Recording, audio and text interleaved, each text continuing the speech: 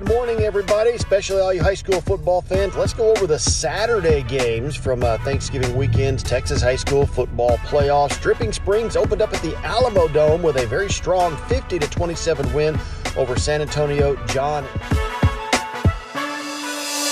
Welcome to the Behind the Mic podcast.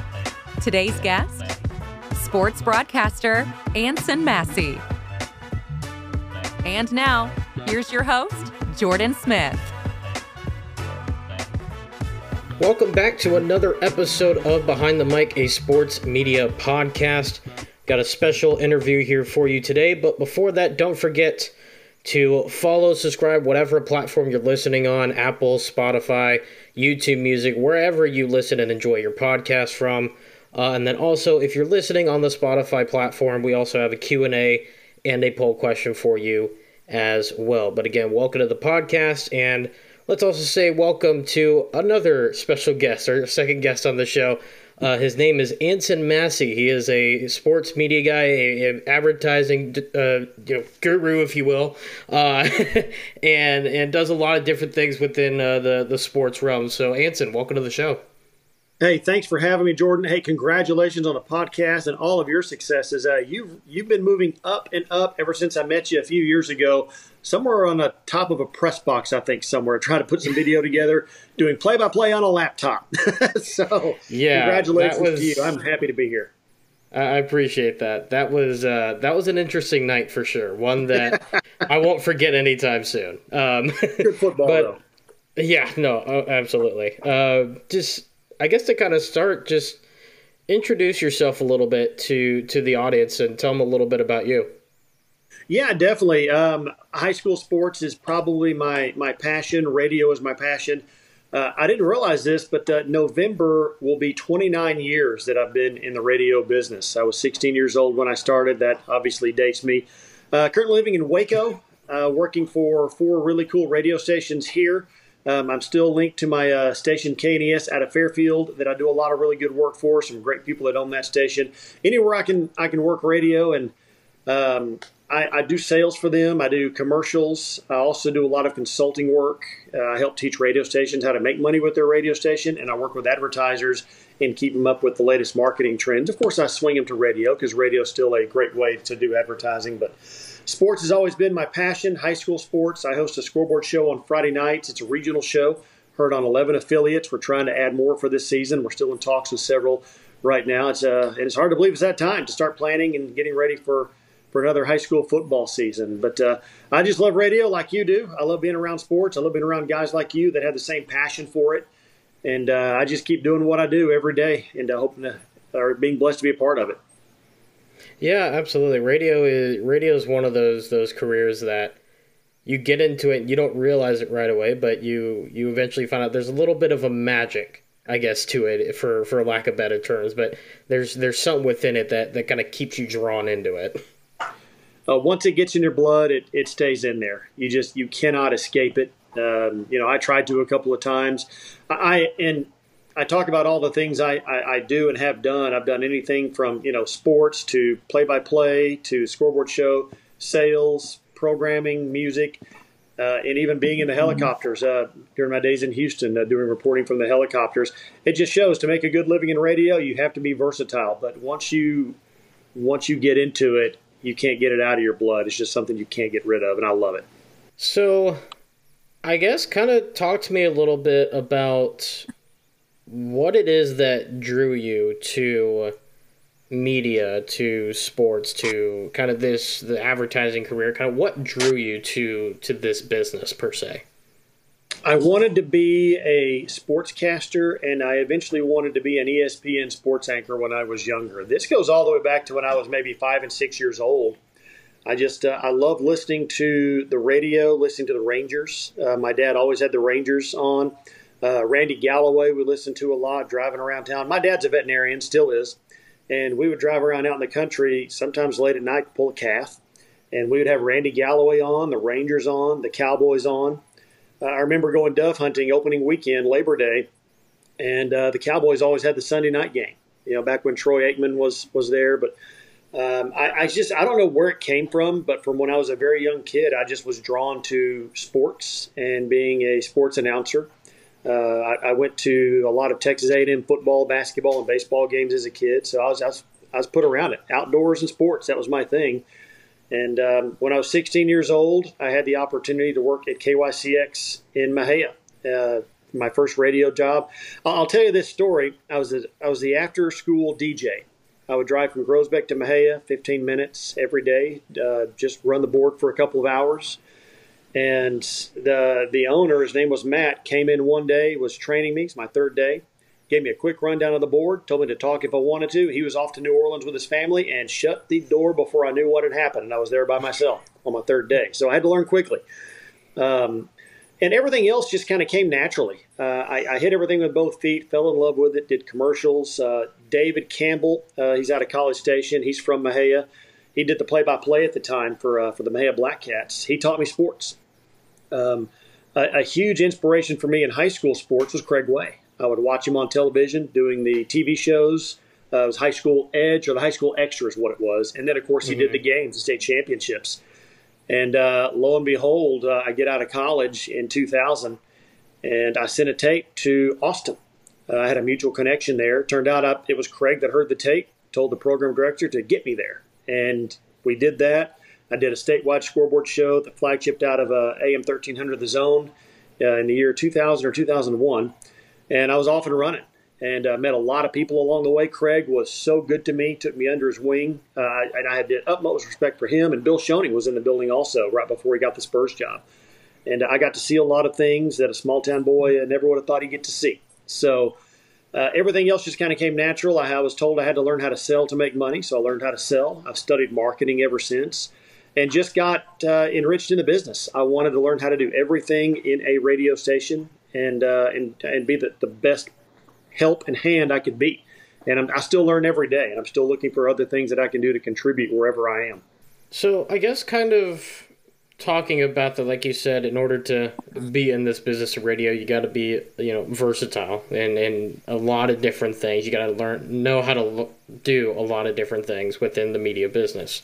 Um, you know, and you've already mentioned doing sales and marketing, the play-by-play, and then the scoreboard show, which is kind of the, the, the top crowning thing that you were talking about before we started that most people know you for uh, is the scoreboard show. Kind of talk about just kind of the different aspects of everything and just kind of what all like every, go into detail with every little thing that you're doing as far as you know different career fields. Well, I'll tell you this: the industry has certainly changed a lot in the uh, almost 29 years that I've been around. When, when I broke into the Austin market in 2000 uh, that's when when iHeart or Clear Channel was starting to buy out radio stations. So over time since then, the, the live and local philosophy has has disappeared, or is almost a thing of the past. Now, me along with some other really really awesome people are are still trying to keep that alive. And when I say live and local, I'm talking about live DJs, breaking news, sports, weather, and traffic in your larger markets. Uh, and also getting out in the community. Uh, we, we did a remote here a little over a week ago here in Waco at, uh, at a manufactured home place. Uh, we had tickets to a rock concert, and we hid those tickets with other prizes inside of the mobile homes.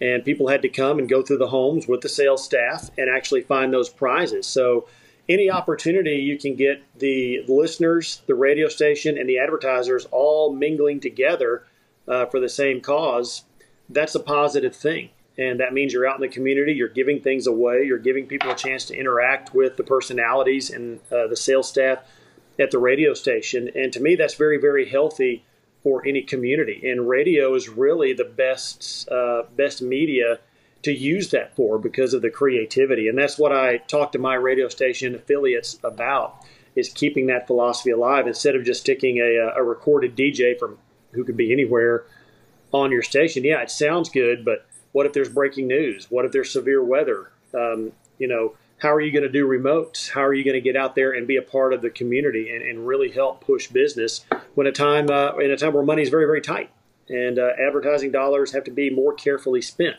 So how can we stand out as as a group as a medium?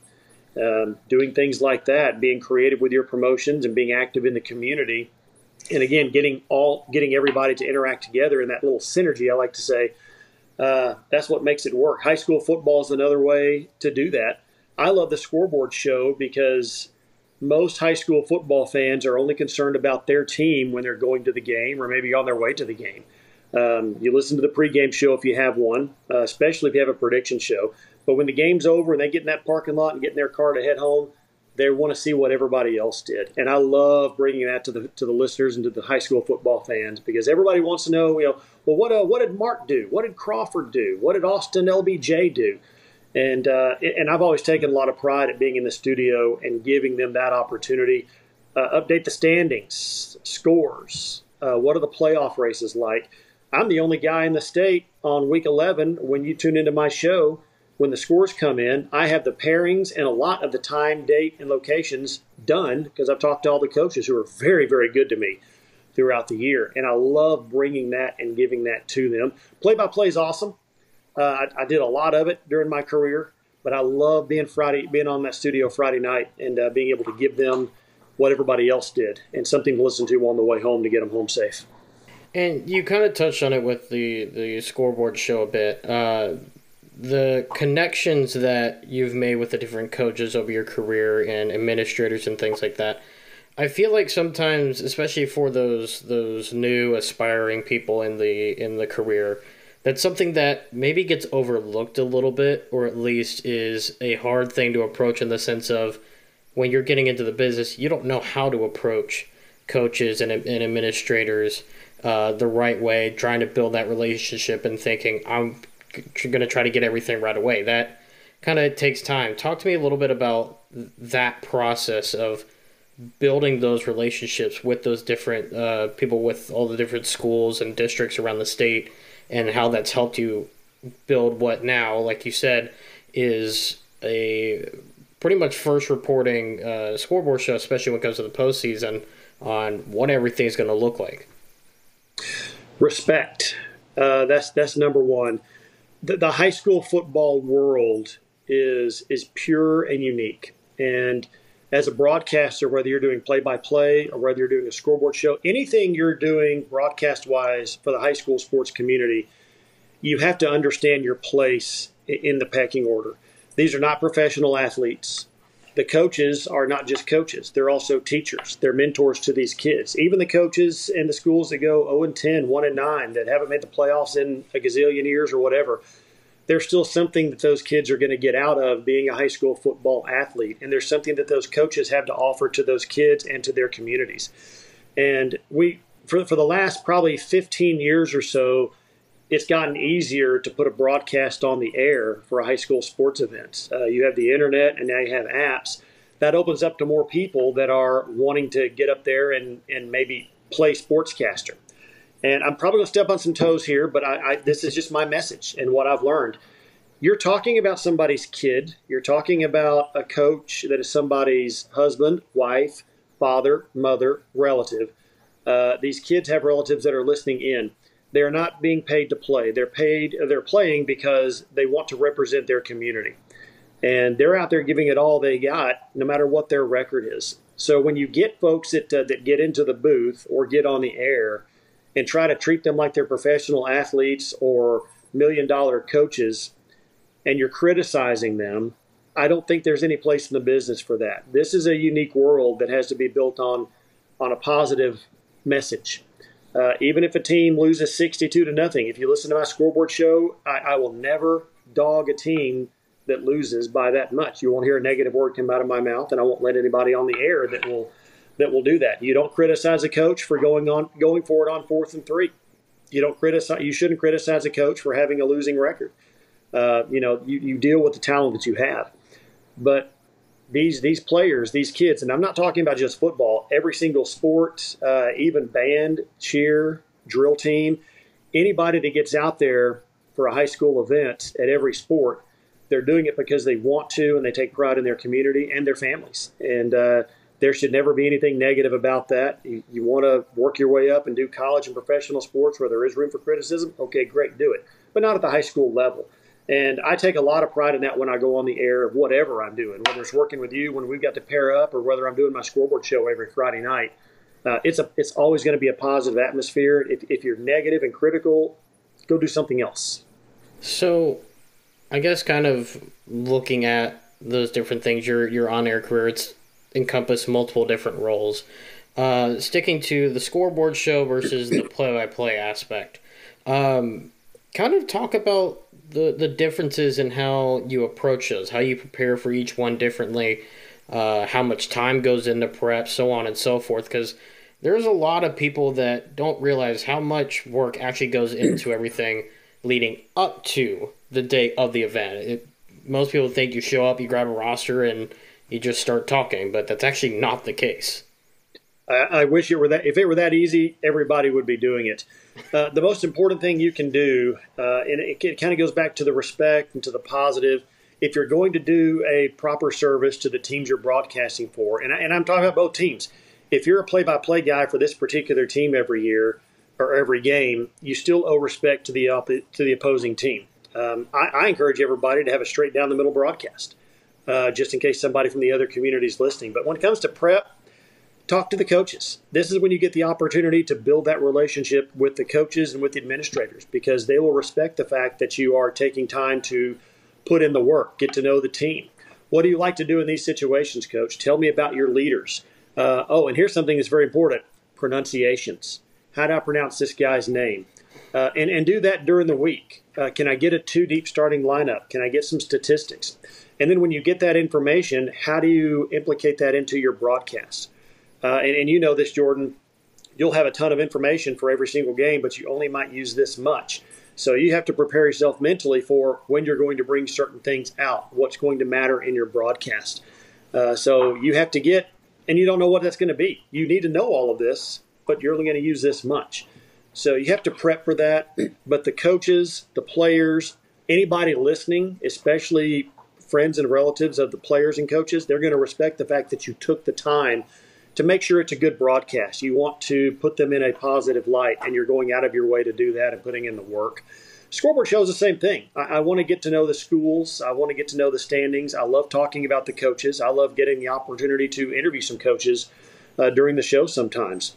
And uh, knowing that they're listening on the school bus ride on the way home is uh, is is very big to me because they respect the fact that I do a lot of prep work to learn about what you know. If I'm talking about this team. Uh, La Marque over Dayton, 34 17. Third year in a row they've won this matchup. La Marque, third round of the playoffs for the eighth straight year. You know, you find those little nuances to bring into a broadcast, but you have to do the prep, you have to study for it. And to do that, you have to take pride in what you do. You have to be passionate about getting behind that microphone, whether you're doing a game or whether you're doing a scoreboard show or a pregame show, whatever part you play, you know, take the time. So you've already you've already mentioned one, uh, but kind of give me another a funny or a, a weird story uh, that that's kind of happened in any portion of, of your career that kind of kind of stands out, whether early on, uh, more recent. Kind of give give one um, that that really sticks out to you. Well, uh, funny stories. Uh, any funny story that you have from any broadcaster is going to be that hot mic moment uh, you know, this is another lesson for anybody. Treat every mic like it's on. You know, watch what you say. If you think you're off air, you may not be off air, or maybe some administrators might be listening to what you're saying on a separate channel. Um, I'd have to really think about funny stories. I have a lot of great stories, a lot of great moments that uh, that I still pinch myself that I got to be a part of. And um, you know, one one of those was my first season at uh, AM 1300 The Zone, Sports Radio 1300 The Zone. Um, I I started that year spotting for Craig Way on Thursday nights. I just showed up on a Thursday night, asked if he needed any help, and he put me in. I spotted for him all year. That earned me an opportunity to be a sideline reporter for a few playoff games. My first one was at uh, Waco ISD Stadium. I think it was on a Saturday, cold, cold afternoon. Uh, Round Rock McNeil took on Copperas Cove. Uh, great game. But at the end of that season, I got to be a second sideline reporter for Westlake and Midland Lee's state championship game, where Cedric Benson, injured groin and all, uh, led Midland Lee to a state championship. There's third straight. Uh, he, he's still uh, the late Cedric Benson, an unbelievable athlete, probably one of the greatest I've seen at the high school level. But you know, from Groesbeck, Texas, to Memorial UT Stadium, uh, I don't remember the, what they call the stadium now, but uh, it's a Longhorns home stadium.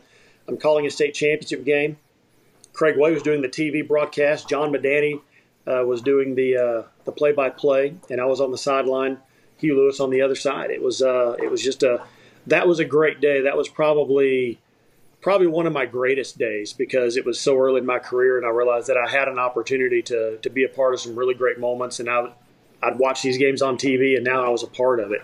So that's probably one of my favorite stories to tell because it was so early in my career something this is kind of geared more towards the the youngsters uh, in in the business, the ones who are trying to get started, don't know how to, or the ones who are just starting and just trying to build up a portfolio and everything like that.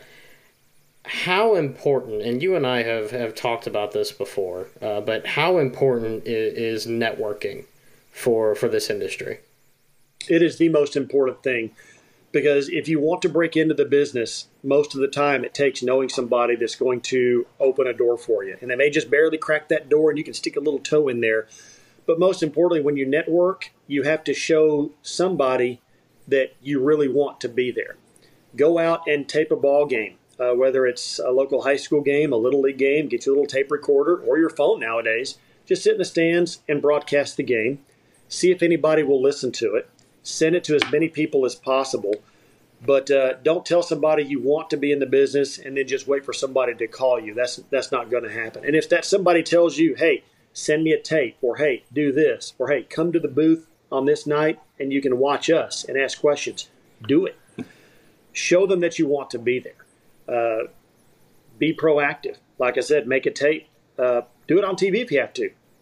There's plenty of sports on television. Just sit in your living room and, and tape the game get the roster. You can get it off your phone. You can print it off, and do something that indicates that you're willing to work, you're willing to be proactive, that you really, really want to be there and are passionate about getting your start in the business. And when you get an opportunity, it may not be what you want to do at first. Pay your dues. If somebody says, "Hey, I want you to spot for me on Thursday nights," show up and spot for them. Talk to them. Listen and learn to what they do. Uh, take them to lunch or call them and learn as much as you can. Show that you can be a sponge, that you're capable of learning, being taught, and being proactive. Most important thing. And kind of bouncing off the the end of that question um, that you just had, kind of talk about you know maybe some some roles that you've had to fill throughout your career that when you started you didn't necessarily have the idea of okay i'm probably going to do this to get a job doing what i want but if they're telling me this is what I got to do, then I guess I'll do it. They kind of tell me about the with the weird oddball jobs that maybe you didn't think about when you were thinking about doing this career that have have popped up and then eventually led to a job in the future. Calling the TAPPS swimming and diving state championships on TAPPS TV while I'm sitting on top of a high dive uh, was one of them. Uh, never, never knew I'd be doing those sports, uh, but it came up. They needed a broadcaster to do it. When they called me, I said, "Sure, I'll go." Uh, and, it, and it goes all the way back to the beginning of my career. You know, you know, I wanted to be a sportscaster. Well, my first radio job was being a DJ. I had to learn how to be a DJ. I eventually became a morning show host when I was in college at KNES in Fairfield, and then I get the call to, um, "Hey, uh, can you go do this playoff game? You only have a cell phone, and just get get the game on the air." Or, "Hey, we want to do volleyball. Can you broadcast volleyball? I'm going to try. Pick up the gear and go and, and see what happens. Um, I, I, did high school volleyball and then uh, private school volleyball.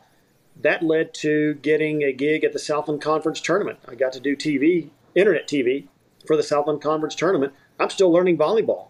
I had a referee that was not working a particular game sit next to me, and during the breaks, he would give me the lingo and tell me how to use it. And then I'm trying, I'm writing it down and I try to put it into my broadcast. And he told me the broadcast was a 100% improvement from the first set to the last set. And, uh, you know, I, it was an opportunity. Uh, I got paid pretty well to do that gig. And I did that because I was willing to pick up the gear and go do high school volleyball, which doesn't get the, uh, the attention that it should get. Those, those girls put in the work that the football players do. They work very hard, just like band, just like cheer, just like everybody else. They deserve a chance to be on the air. And um, and I'm, I'm, trying to think of anything else. Um, if you and I were talking at lunch, I could probably have all the stories in the world. But asking for a specific one, there's there's been so many. I, I just I, I, learned early on that you had to be willing to do everything, and not just do the game, but I had to go sell it also. Um, that's where I met our mutual friend Gerald Sanchez. We both worked for the same network uh, where we had to go out and sell and then go do the games. And just be willing to do whatever you have to do, uh, whatever sport. If you want to learn how to be a broadcaster, be versatile. If you don't know the sport, learn it. Find it on YouTube. Call somebody that's in the game. Ask them how to, you know, what's the lingo? Learn the language, and then go do the best you can and make sure you continue to learn. All right, we're gonna throw some uh, some some rapid fire questions your way. You ready? Go for it. All right. So your first one, pre-game, you know, pre-game, pre-game day ritual or routine that you follow before you go on air. Food. yeah. Yeah. Food is very food is very important to me. Um, I, I, I, get to my destination first, press box, field, wherever. I set up. I get that out of the way like three hours early. Um, I make sure I know when the teams are going to arrive. I've already made arrangements with the coaches. I know when and where they're going to be for any interviews I need to do. And then I look for the best local restaurant I can find. Um, and make sure that I'm well fed before I go on the air. Very important. well, it's funny because question number two favorite game day snack or meal? Golden Corral. Okay. Okay. Buffet guy. Buff- oh, oh yeah, I love buffets. I mean, you're you're seeing me from the neck up, but if you look at me out in the real world, you can tell that I like to eat. That that's why I'm yeah. That's that's why my camera is positioned the way it is. Yeah, I'm I'm, I'm with you there. Um, so I guess here's a question since you've done both things. Um, number three on our rapid fire. What's your preference, radio or TV play by play? Radio, by far. Uh, I've done TV a few times, only a few, but radio, I, I don't like having to worry about how I look and how descriptive that I can be. TV, you don't have to be as descriptive because it's right there, obviously. I love painting a picture. I, I love being able to put everything that I can into it and uh, and give the listener the opportunity to to see it in their mind and, and describe it in every detail that I can. Easy. That's an easy answer for me. Uh, number four, favorite game, or I guess really a memory, I guess from from your your sports scoreboard show. Ah, from the scoreboard show. Uh, let's see. I, I don't remember what year it was, but um, I think it's about five or six years ago. Uh, you know, obviously, the last two weeks is when things really come together, and you rely on a lot of games going the way they should go. And I had everything drawn out. And week number 10, we had a lot of upsets, messed up my sheets. Week 11 was even worse. I had to go back and completely redo a lot of the district pairings that I had. And uh, it was it was a fire drill because there were a lot of games that were going late, either overtime. There might have been some weather delays or something in the area. So by the time we hit air, we all we still have a lot of other possibilities. There's points. Um, one particular game, it was a two point game, and the team trailing had to either kick a field goal or they had to score a point. They were one point short of going to the playoffs, even if they lost the game. And they end up not getting it, so the other team goes in. But uh, getting to put all that together as it happened was an adrenaline rush. Um, I loved it more than I thought. I was exhausted by the end of the night, but the, the fans that were listening, they got the full story, and we still we were able to put it all together. But it was crazy because so many games, we had so many upsets, so many games and scenarios did not turn out the way that I had predicted. Them. And I thought they were no brainers. You know, you put your no brainers in, then you have your ifs. Uh, but the no brainers, a lot of them flipped. Still don't know why it happened. Just one of those nights that the football gods gave us. It was a great night, but it was stressful. Uh, and finally, here in the rapid fire, anything that you've regretted during your career? You know, no, not really. Um, any of us that do this for a long time can look back and say, I wish I would have stuck with this and done this. I wish I would have done that. I, I get a lot of calls to do play by play for uh, for colleges. Uh, I'm still sought after quite a bit, um, more so I think than I deserve. But you know, I made a choice uh, that one, I love doing the scoreboard show on Friday nights, but it also keeps me close to home. But two, the play-by-play route takes your weekends away, and it's, it's hard to be a family guy. I'm a I'm a husband. I have uh, I have three unbelievable teenagers, teenage boys that I take care of. Uh, love them to death. They're my world, and that's just I chose to go that route instead of the play-by-play route but it kept the door open for me to do my scoreboard show. So it's not a regret, but it's something that I could have done different based on what I broke into the business wanting to do. Um, I did have an opportunity to work at ESPN and eventually be a Sports Center anchor, and I turned it down because uh, I just liked the path that I was on. I wanted to stay down here in my home state of Texas. So no regrets. I, I, love the career that I've had. I'm still loving the career that I have. But there's always a different direction. You could always look back and say, I could have done that. It might have been fun, but it would have changed life drastically.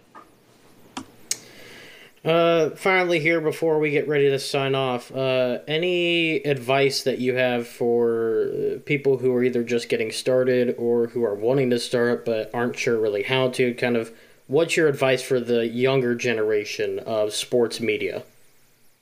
Uh, learn. Never stop learning. Stay humble. Uh, this is a business that's that's full of egos. It just is. Uh, put it aside.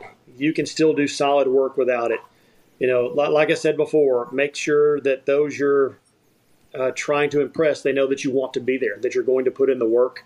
Be versatile and uh, be humble, and just do your job. And, and remember what your job is if you're calling a game, even if I'm doing a scoreboard show, it's not about me. It's not about the play-by-play guy. It, it's about the game. You you want the listening audience to remember the great play of the ball game and not what the broadcaster said, whether it was funny, appropriate, inappropriate. You don't want to be the memory, like like referees and, and or officials. The best ones are the ones you forgot were there. You want the fans to enjoy the game and the game experience and listening. And here are the sponsors you don't want them to remember something that you said or did. So make sure you know what it's all about when it's all said and done. All right, where can uh, people find you online?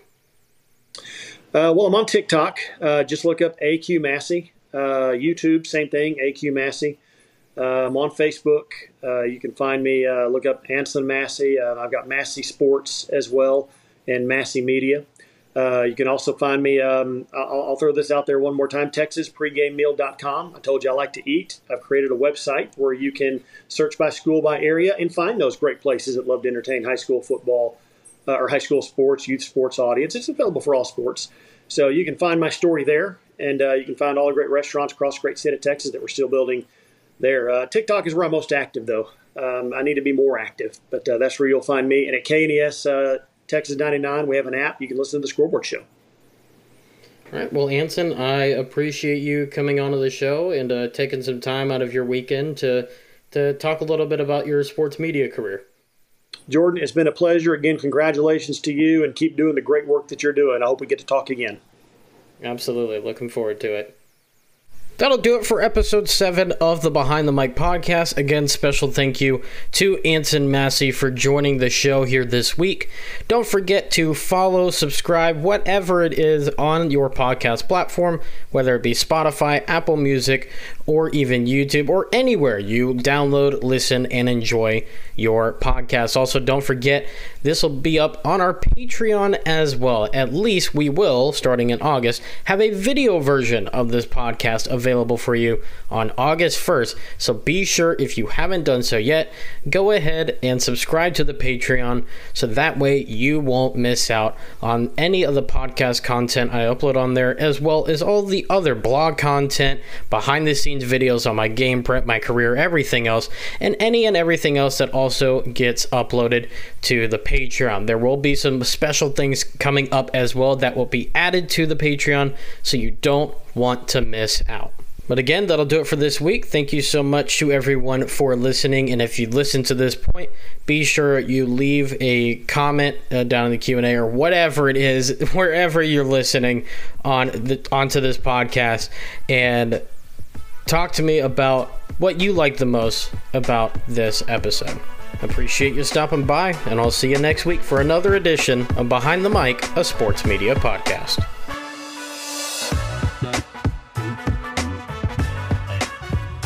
Thanks for listening to the Behind the Mic podcast. Listen to every episode of Behind the Mic on Spotify, Apple Podcasts, and YouTube Music. Open any of these apps and search Behind the Mic. Then hit the follow button so you won't miss a single episode.